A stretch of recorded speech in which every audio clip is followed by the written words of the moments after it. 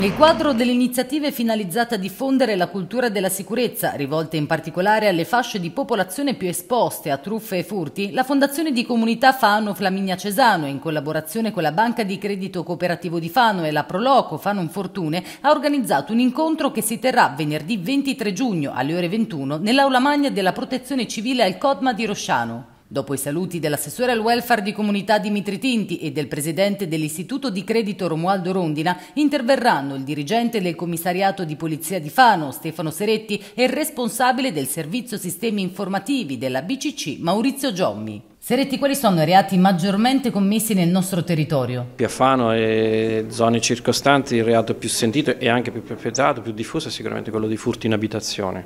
oltre che di furti di bicicletta, che è uno dei mezzi più utilizzati nella nostra città nel nostro territorio, ma i furti in abitazione sono quelli che destano più più allarme sociale. Devo essere onesto nel, nel, dire che negli ultimi anni siamo riusciti in tutte le forze di polizia del, del, nostro territorio, noi come Polizia di Stato, come commissariato, abbiamo veramente investito molto in questa attività. Lo facciamo anche grazie a degli strumenti che ci danno ottime opportunità in questo senso, quindi il sistema di videosorveglianza cittadino. Ad esempio per quanto riguarda i furti in abitazione, quali sono le buone prassi per evitarli? Allora, la principale prassi che ho notato e che credo sia proprio specifica per il nostro territorio è quella quella di fare una valutazione eh, specifica, una valutazione approfondita della propria abitazione ed individuare quelli che sono i punti deboli per l'accesso eh, nella stessa, cosa che i ladri fanno assolutamente, loro individuano il punto debole dove poter accedere, normalmente sono le parti posteriori dell'abitazione, quelle meno in vista, quelle più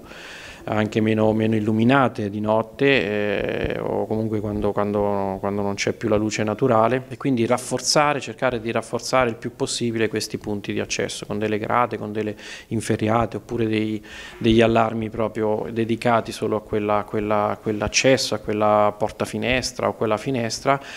e fare in modo insomma, di potenziare assolutamente questi accessi che, che, sono i punti deboli di tutte le abitazioni. A seguito della pandemia e anche a seguito della guerra russo-ucraina sicuramente è aumentata l'attenzione da parte di sia organizzazioni criminali ma anche di organizzazioni legate ai governi eh, cosiddetti canaglia verso eh, il mondo internet e verso la rete. Quindi cosa è più interessante per queste organizzazioni se non colpire i conti correnti eh, della clientela. L'obiettivo dell'incontro, l'obiettivo della, della, mia presentazione sarà quella di fornire qualche strumento di cosiddetta igiene digitale o igiene informatica, strumenti che possono rendere la nostra vita digitale più serena e più sicura e farò poi un focus ovviamente proprio sulle truffe online, eh, quelle più diffuse che sono i phishing, lo smishing, il vishing, quindi sono eh, varianti eh, sempre del medesimo attacco, che è un tipo di attacco massivo che va a colpire, che cerca di colpire più persone possibile, sperando che qualcuno poi abbocchi, come un pesce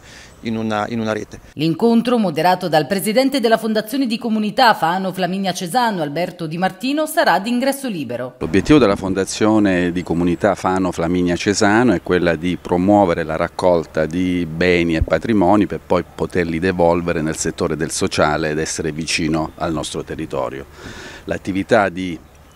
uh, di, di, di questa sera è, mira a continuare un'iniziativa della vecchia Fano Solidale che ha come scopo quello di essere vicino alle persone anziane e non anziane, ma diciamo in qualche modo che in maniera spontanea o genuina possono cadere nel rischio di essere vittime di truffe, rapine, di, sia di tipo informatico che di tipo eh, fisico presso le abitazioni. Aspettiamo venerdì sera presso la sala mm, della protezione civile del CODMA, eh, ma sarà poi anche probabilmente ripetuta la trasmissione di quanto registrato.